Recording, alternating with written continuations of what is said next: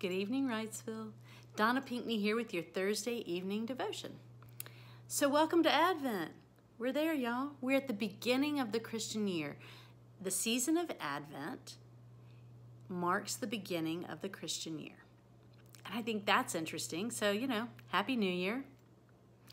Other interesting fact I recently learned St. Francis of Assisi is credited with creating the first nativity scene. In Italy in 1223, he created this beautiful scene in an attempt to place the emphasis of Christmas back on Christ and away from materialism.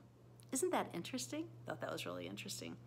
Nativity sets came after that. And, and I think so many of us have a nativity set in our house um, that has some history to it, some memories associated with it, whether it was handed down to you or you bought it on a trip or perhaps you fell in love with it in the store and just had to have it. I don't know what your story is, but nativity sets often have a story. And so tonight, we're going to hear from someone about their nativity set and um, learn a little bit about them. So, ladies and gentlemen, Pastor Hope. I'll see you all next week. Good night. Hello, everyone. I'm so glad you could be with us this evening. Um, I want to share some things with you uh, related to Christmas. I know we're all starting to get ready for Christmas. Um, you probably have a nativity set. If you don't, uh, that's one of the things many of us like to have in our homes. And um, I have several. Uh, I have one that my daughter gave me when she was just about grown.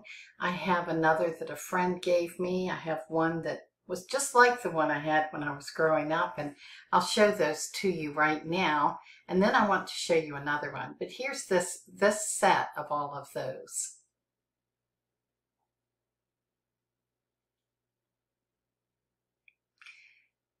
As you can see, uh, there are different ways of having nativity sets and they look, each one of them looks a little bit different. Um, the one that was on the bottom right of that picture uh, was like the one I had when, or my family had when we were growing up. And um, it is um, not fragile. uh, we were able to pick those pieces up as children and look at them and, and uh, tell the story ourselves. And I encourage you to do that. If you have young children around, either uh, your own children or grandchildren, that you um, have a nativity set that they can actually get their hands on and move around and, and put in places so that they can learn to tell the story. And it just becomes a part of who they are. And so speaking of telling the story, I have one more I want to share with you first, and I'm going to see if I can just hold up at least Mary and, and baby Jesus and, and uh, let you see them. I think it's rather exquisite. Uh, Mary, you can see um, her and baby Jesus. Whoops, see if I can get them in the same picture here. Um, and just, they, they're just exquisite um, pieces that I really love that someone gave me at another church. So speaking of the story and learning to tell the story, in our Bibles, we have um, Matthew, Mark, Luke, and John, our Gospels, and each one of them has a different way of introducing Jesus to the world. The most um, common one that we read at Christmas time is from Luke chapter 2, and it, it pretty much tells the story, but if you go to Matthew and you read that part, it talks about Emmanuel, God with us in chapter 1, and that Jesus was coming. But it, it's told through the dream that Joseph had and the angel coming to Mary. We don't hear all of the story in Matthew. We hear about the Magi coming, the wise men.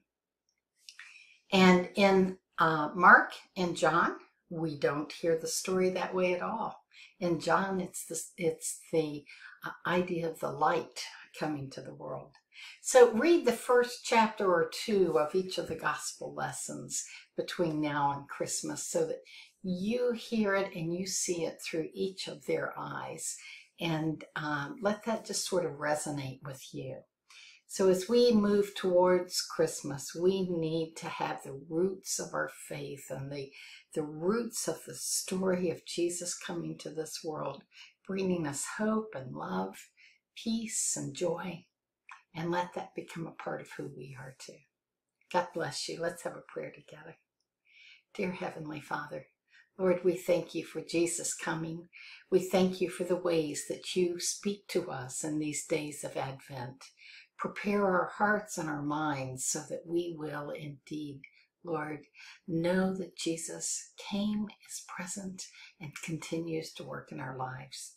We pray in his name. Amen. Have a good evening.